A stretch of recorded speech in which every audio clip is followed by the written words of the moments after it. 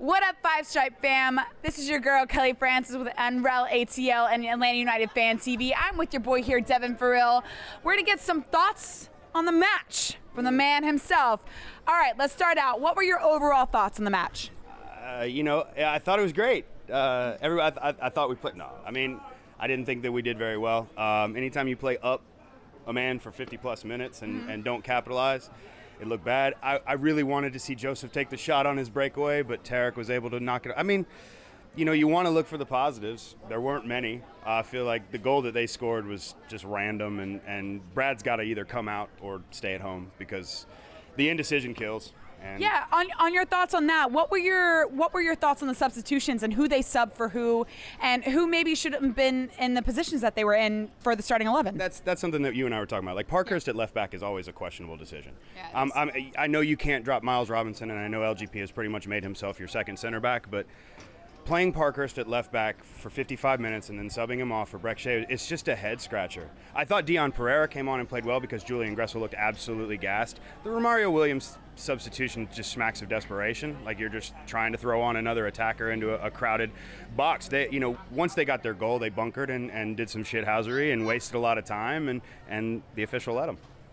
Absolutely. So let's let's talk in this deeper Dion Pereira substitution. Yep. What were your thoughts about Dion Pereira when he came onto the match and, and what he contributed to the game? I mean, you're talking about you know a young kid from Watford, you know, probably barely 18, and and uh, you know every every match that he's played, he's he's looked better and better. He's he's really acclimating to the game. I like the fact that he's able to be so versatile, left, right, uh, you know, dropping into center back on set pieces as we push forward with Larentowicz and and LGP. You know, he's really coming of age, so that's a good thing to see. But there's just a lack of continuity on offense. Like I'm not sure what it is, but it just doesn't feel like we're scoring goals from outfield play. You know, it's it, it's penalties or you know it's set pieces, but I mean, yeah, PT had his banger, but like, when did we look dangerous today? Uh, like, that's that's the biggest problem for me is I don't really feel. I mean, yeah, we had some shots on goal, but I mean, the one time I felt like we were really dangerous is when Josef had a breakaway and didn't shoot. How often are you going to see that?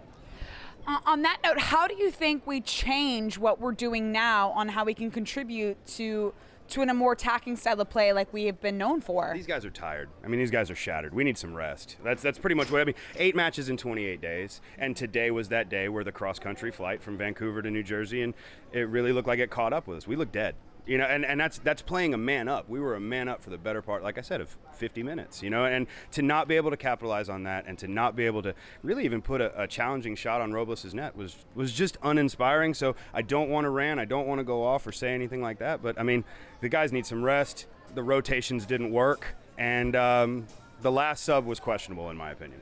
That's a great point about us being uh, a man up almost what 30 minutes 50, into the game? Yeah yeah. We, we were getting empanadas and, and the next thing you know i hear kelly scream out they just red carded them which was it was it was so you know it was so kind of like just what happened and then for us like i said for them not to have parker and, and, still be able to come out on top and us not be able to challenge their net it's it's it's it makes you question things. I you know i know i get i know i get a lot of flack for saying DeBoer out but i just I really don't like the way we attack. We were an attacking team that looks so bridled. You know, it's a lot of side to side. Possession doesn't mean anything if you're not doing anything with it. So absolutely, absolutely. So, in that case, with us being a man up with us uh, lacking creativity in the box and really not being able to put a very clear shot on goal, what do you think this team needs to do going forward, heading into next week where we still have even more games in a congested schedule? How do we get out of this? How do we see?